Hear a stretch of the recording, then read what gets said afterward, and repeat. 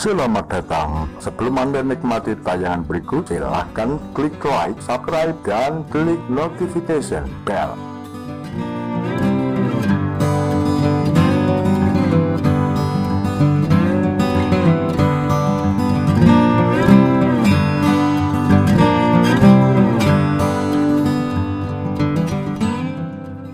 Aksi spionase biar tendian di Malaysia Bermodal paras Indo-Prancis, biar tendian menjalankan misi intelijen ke wilayah Malaysia.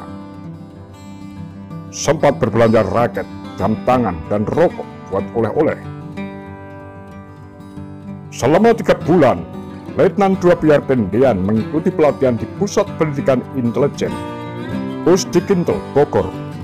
Setelah menamatkan kursus kilat, Biar langsung menerima suatu tugas biar ditugaskan untuk memimpin pasukan gerilya yang akan menyusup ke negara Federasi Malaysia. Ia ikut operasi-operasi penyusupan ke Malaysia dari Selat Sepanjang. Kata Abdul Haris mengenang sang ajudan biar tendian. Dalam masa setahun itu, telah tiga kali menyusup ke daratan Malaysia. Ungkap Nasution dalam memenuhi panggilan tugas jilid 6 masa kebangkitan Orde Baru Pierre merupakan komandan basis Y yang terletak di Pasir Panjang, Kepulauan Karimun. Pada Maret 1964, Pierre dikirimkan ke Malaysia melalui Selat Panjang, Kepulauan Ranti, Riau. Malaka dan Johor adalah wilayah yang menjadi wilayah sasaran penyusupan. Dalam aksinya pertama, Pierre menyamar sebagai turis yang melancong karena memiliki paras blasteran Indonesia Perancis, Pierre tidak kesulitan menembus ke jantung kota.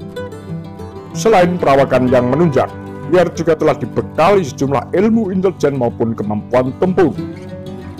Dalam memoir Oijutat yang disusun Pramudia Anantatur, Pierre tercatat mengawal Menteri Negara Oijutat saat itu.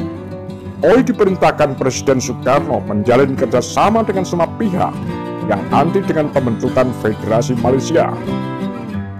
Pui berlakon sebagai pedagang Tionghoa, sementara Pierre dengan wajah bulunya cukup apik berperan menjadi turis. Sembari menjalankan tugas, Pierre masih berbelanja. Di pusat-pusat pertokoan yang dikunjungi, Pierre membeli raket Mike Dunlop, jam tangan, rokok merek Commodore untuk ayahnya, dan pakaian serta aksesoris impor buat kakak dan ibunya. Sang kekasih, Rokmini Kamim, juga tidak ketinggalan kebahagiaan oleh-oleh berupa satu setel pakaian.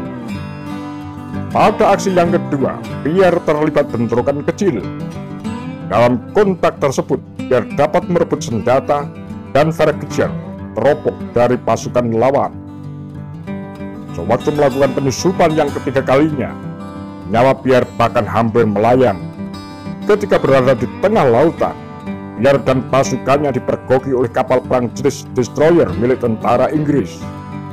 Dalam kejar-kejaran itu, Pierre memutuskan untuk turun dari speedboatnya, lalu berenang ke perahu nelayan.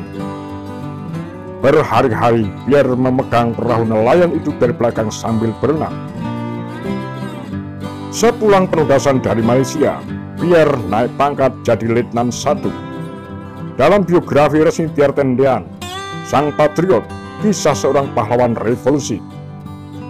Mitzi Fair, sang kakak mengenang semua pemberian Pierre yang dibeli kala bertugas di Malaysia. Selain seuntek ikat pinggang, Mitzi juga mendapat jaket merah yang memiliki model serupa dengan kepunyaan Pierre yang berwarna biru. Jaket biru inilah bagian terakhir yang melekat di badan Pierre saat ia diculik pada dini hari 1 Oktober 1965. Raket Dunlop juga diserahkan Pierre kepada Mitzi. Di balik benda itu, seuntai pesan tersua dari si pemberi. Odo ditelu. Demikian amanah Pierre kepada Mitzi.